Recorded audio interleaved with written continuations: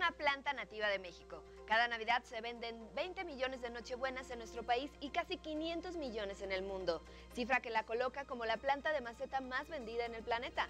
México es el único lugar en donde se encuentran las poblaciones más abundantes en estado silvestre, por lo que Mark Olson, investigador del Instituto de Biología de la UNAM, ha colectado desde 2001 ejemplares de Nochebuenas silvestres para generar un mapa de distribución de la diversidad genética de estas poblaciones. Representantes de los 30.000 productores de maíz en Campeche, el gobierno estatal y la delegación de la Zagarpa en aquella entidad fijaron en 3.872 pesos el precio por tonelada de este grano básico comercializado. De esta forma, se pone fin a la inconformidad de los agricultores por el bajo precio de comercialización del maíz.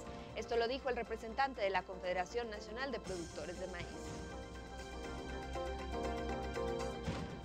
En Michoacán, el presidente municipal de Juan Gapeo reconoció a este municipio como el productor más importante de guayaba del estado, ya que se producen 44.820 toneladas de esta fruta, lo cual se equipara a la producción del estado de Zacatecas, considerando el tercer mejor productor de México.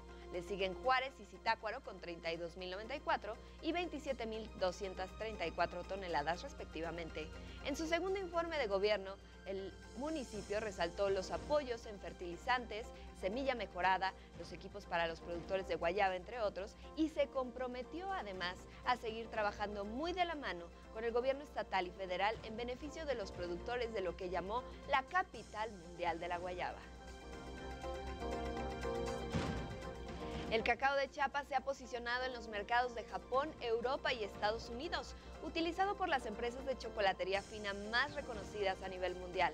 Ante esta situación, se requiere impulsar un programa de rescate del cultivo en sus, en sus variedades criollas. Esto lo dijo el presidente del Centro de Agroecología San Francisco de Asís, Jorge Aguilar Reina. Asimismo, informó que este sector requiere de un proceso de renovación de plantaciones, recuperación de áreas productivas, combate a plagas e inversiones en fermentadoras y secadoras para preparar el grano de exportación, ya que el cacao debidamente fermentado y secado ha sido del más completo agrado de las empresas mundiales del chocolate que reconocen la inigualable calidad del grano de la región del Soconusco. Estas fueron las breves nacionales.